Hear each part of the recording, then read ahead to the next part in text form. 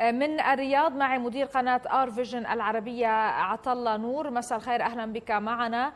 يعني كما اتهم منتقدون زعيمة زعيمة البلاد بأنه هذه حقوق أقلية طالما شكت من التمييز طالما تحدثنا عن هذا الموضوع. هل من جديد ممكن أن نعرفه فيما يتعلق بهذا الإطار غير حديثنا الدائم عن مأساة الروهينجا؟ مساء الخير. بالنسبة للأحداث الحالية هذه ليست أول مرة. منذ عام 1942 ميلادي هناك مذابح متكررة وخطة ممنهجة تطبق لإنهاء الوجود الروهنجي في داخل أراكان بتهمة أنهم مهاجرين غير شرعيين. في 2012 شهر 6 شهر يونيو هناك أيضا مجزرة مجازر كثيرة أقيمت.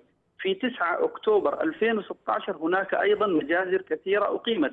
بالنسبة لأونغ سان سوتشي الحاكم الفعلية الحالية هي لا تملك من صلاحية البلاد شيء. هي تحت ربقة الجيش البورمي.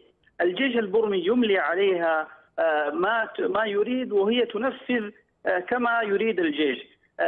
في هذه الأزمة الأزمة الحالية جيش بورما منذ أكتوبر 2016 كان يحشد القوات العسكرية والآلات العسكرية في ولاية ولاية أراكان التي فيها مسلم الروهينجا.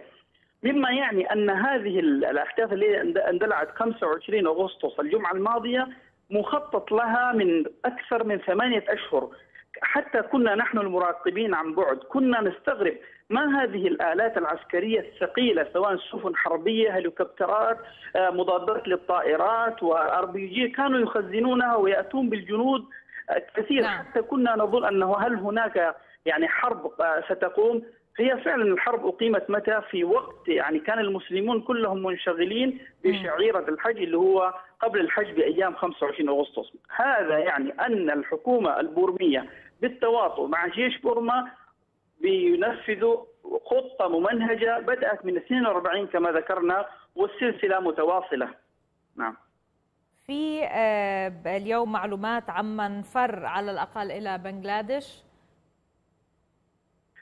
حقيقة الإحصاء التي ذكر أو ذكرتم أنتم هو هي مبنية على إحصاءات الأمم المتحدة نحن برصدنا أن هناك أكثر من 25 قرية أحرقت وكل قرية تعداد السكان ما بين 1000 إلى 1500 نسمة. الذين استشهدوا أو الذين قتلوا أو الذين أحرقوا أكثر من عشرة آلاف وليست ثلاثة آلاف كما يذكر. والذين اضطروا لترك قراهم والهجرة أو النزوح الداخلي أو الهجرة إلى الخارج على حدود بنغلاديش تجاوزوا الثمانين ألف. هذه إحصاءات دقيقة جدا. الناس الذين وصلوا إلى بنغلاديش الذين استطاعوا المرور عبر الحدود هم قلة جدا ما لا يتجاوز الألفين مما يعني أن مصادر قالت بأنه 38 ألف تقريبا من الروهينجا فروا من ميانمار نعم 32 هم يقولون كل الذين فروا من القرى نحن نقول أكثر من 80 ألف نعم. 32 الذين استطاعوا دخول حدود بنغلاديش 2000 مما يعني بقية العدد يعني أكثر من 50 ألف ما بين موجودين داخل الغابات في أوساط الجبال ما بين موجودين في المنطقة الحدودية التي تفصل بين أراكان اللي هي بورما وما بين قتلوا ربما أم لا؟